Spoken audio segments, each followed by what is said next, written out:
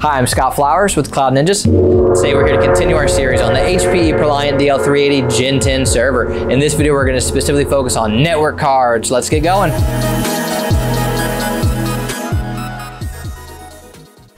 Well, hey, thanks for stopping by today to learn a little bit more about the HPE ProLiant DL380 Gen 10 server. Do us a favor, find anything that helps you in this video, click that like and smash that subscribe. All right, we'll top in. Uh, this video is specifically dedicated to network cards. So what we are going to do as a whole in this video is we're going to go over the different interfaces, the different speeds. We're going to do a close-up and show you the FlexLOMs or the FLOMs versus the PCIe cards. I'm a big fan of the FLOMs uh, just because there's a dedicated spot uh, specifically for that, and you can mix and match your FLOM with PCIe network cards to add additional networking. So these are all things that you're able to do. So, uh, and then at the end, what we'll do is actually install both of them for you and show you step-by-step -step instructions on how to install them. So what are the different compatible interfaces? Well, we have RJ45, which is another way of saying Ethernet. We have SFP, SFP Plus, SFP28, QSFP, and QSFP56. So those are going to be your different interfaces. Well, what about our speeds? You have a 1 gigabit, 8 gigabit, 10 gigabit, 16 gigabit, 25, 32, 40, or all the way up to 100. So those will be your different speeds. So uh, now what we'll do is we'll show you a quick close-up of the, uh, the FLOMs versus the PCIEs. And again, I'm a big fan of the FLOMs. And then we're to show you how to install both of them.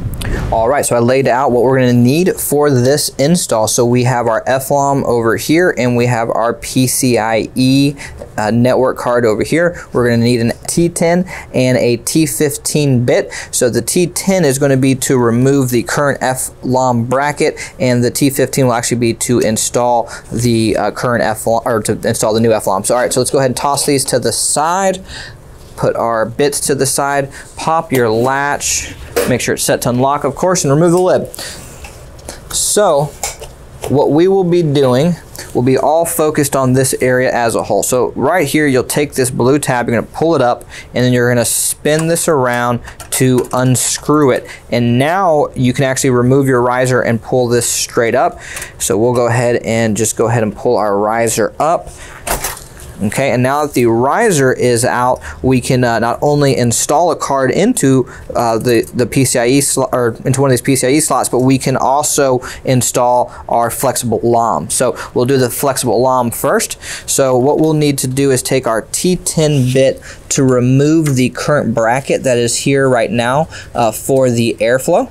So we're going to go ahead and remove this. Now this screw we will need to keep because we will use it uh, for the actual FLOM, but this bracket you can put to the side and we will not be using this, uh, but you can save it if you need it for in the future. So we're going to take our interface here and we are going to put this in right here.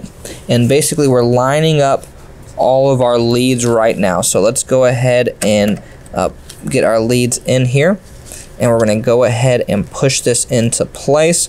So now we've installed or inserted our FLOM. So what we'll need to do now is we're going to take our uh, T10 again.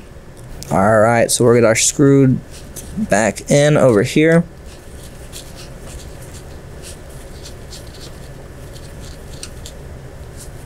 And then we are going to need our uh, T15 here to screw the FLOM down to the actual board. All right, so that's how you would install your uh, your FLOM. So now what we're going to do here is actually install our PCIe card. So for the PCIe card, we're going to need to uh, use our riser. So I'm going to need to open this up to remove the current brackets. So let's go ahead and open this up and then we are going to uh, pop out our middle bracket right here and then we are going to go ahead and install our card. So when we do this, you need to kind of line up a few things here. The tip and then the two leads are the most important thing. And sometimes if your card's super long, you need to make sure you line up uh, with the green as well. So let's go ahead and get this, get everything lined up into place.